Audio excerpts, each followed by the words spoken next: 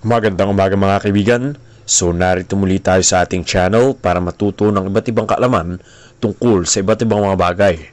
Ang paksa nating pag-aaralan sa umagang ito mga kaibigan ay tungkol sa mga mabisang pamatay ng surot sa loob ng iyong bahay.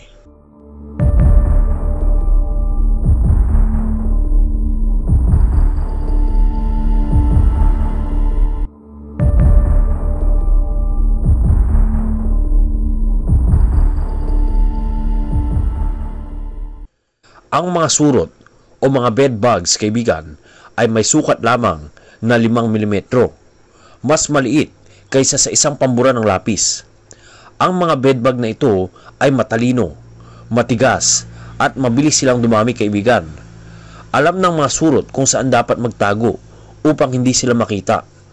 Maaari silang mabuhay ng ilang buwan sa pamamagitan ng pagsipsip ng dugo ng tao o ng hayop ang isang malusog na babaeng bedbug ay maaaring mangitlog ng limandaang itlog sa kanyang buhay. Hindi nakakagulat kaibigan na ang maliliit na bloodsuckers na ito ay maaaring magdulot ng maraming problema sa iyong tahanan. Kung kasama mo sila sa kama, maaari sila mag-iwan ng mapupula at makakating mga bukol sa iyong katawan. Sa kabutihang palad kaibigan, maaari mong mapuksa ang mga surot na ito. Maging matyaga ka lamang dahil ang pag-alis ng surot ay kadalasang tumatagal ng ilang oras at marami ka dapat gawin para masugpo mo sila. Maaari mong subukan ang iba't ibang paraan tulad ng chemical at mga hindi chemical na paraan lalo kung mayroong malaking infestation ng surot o bedbug sa loob ng iyong tahanan. Kaya sa video ito kaibigan ay tatalakayin natin ang mga paraan para maubos at mamatay ang mga surot sa loob ng iyong bahay. Pero bago tayo magsimula mga kaibigan, kung bago ka lang sa ating channel at gusto mo pa ng ganitong mga videos tungkol sa kaalaman sa pantamboy at pamatay ng mga peste, huwag mo kakalimutan mag-click ng subscribe button at yung notification bell para lagi kang updated sa ating mga latest upload sa ating channel.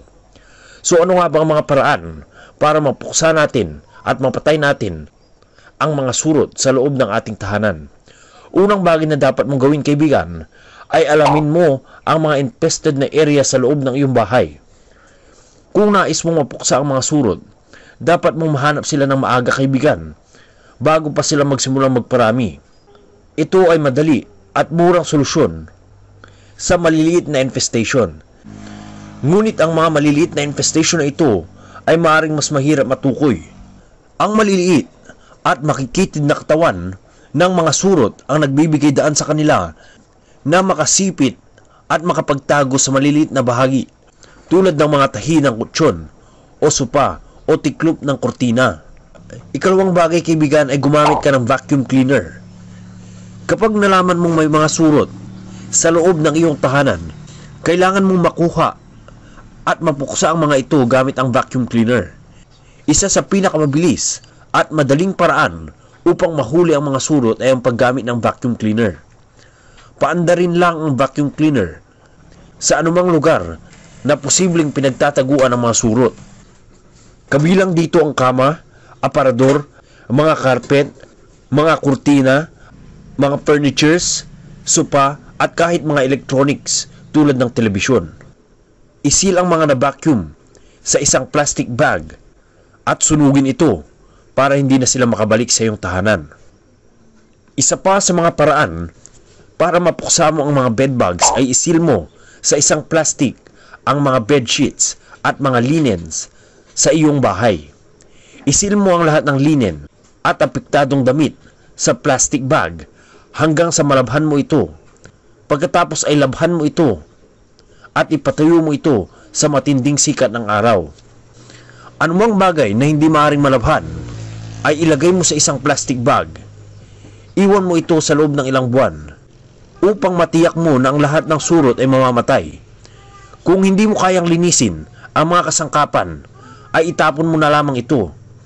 Lagyan mo ito ng lebel na may salitang mga surot upang walang sino mang magtangkang mag-uwi ng mga bagay na ito. Narito naman ang mga alternatibo na mga paraan para mapatay ang mga surot sa loob ng iyong bahay. Ang unang paraan kaibigan ay ang paggamit ng kerosene o yung gas. Kumuha ka lamang ng isang towel at spray mo doon yung gas. Huwag mo itong diretsong i-spray sa furniture kaibigan, kundi ipapahid mo yung towel na may kerosene sa bahagi na may mga surot. Very sensitive kasi kaibigan ang mga surot sa init na nagmumula sa kerosene at aerosol, kaya doon sila namamatay. Pero ingat lang kaibigan sa paggamit ng ganitong paraan sapagkat maaari itong pagsimulan ng apoy. Ang ikalawang paraan kaibigan ay ang paggamit ng hair blower o ang hair dryer. I-on mo lamang at itapat sa apektadong bahagi ng kutsyon o furniture ang hair dryer. Ayaw kasi ng mga surot sa sobrang init na temperatura na ibinubuga ng hair dryer. Kaya naman, instantly namamatay sila. Ang ikatlong paraan kaibigan na maaari mong gamitin ay ang paggamit ng rubbing alcohol. Madalas itong gamitin bilang disinfectant sa katawan at maaari mo rin gamitin ang alcohol pamatay sa mga bed bugs o mga surot. Mag-spray ka lamang nito sa mga gamit na pinamamahayan ng surot. Puro itong ginagamit kaibigan. Ang main ingredient kasi ng alcohol ay isopropyl na ito ay isang useful chemical para mapatay ang mga bakterya o ang mga household pest gaya ng mga surot. Ang ikaapat na paraan kaibigan na maaari mong gamitin ay ang paggamit ng baby powder. Pwedeng gamitin ang baby powder na may ingredient na talc sa mga kutsyon at mga cracks ng furniture. Isaboy mo lamang ito sa mga kutsyon o di kaya mga cracks ng dingding o kaya naman sa mga furniture dahil nakakatulong ang talc na ingredient na ito para i-absorb ang moisture o oil pati na rin ang mga odor. Kasi nga gustong-gustong manatili ng mga surot sa mga oily, wet at mga dam areas.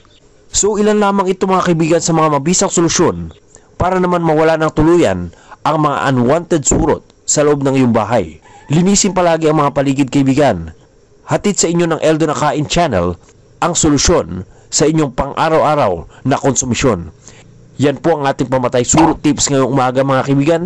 So kung gusto nyo pa ng ganito mga videos tungkol sa kaalaman, tungkol sa iba't ibang mga bagay, huwag kakalimutan mag-click sa ating subscribe button at sa ating notification bell para lagi kayong updated sa ating mga latest uploads sa ating channel.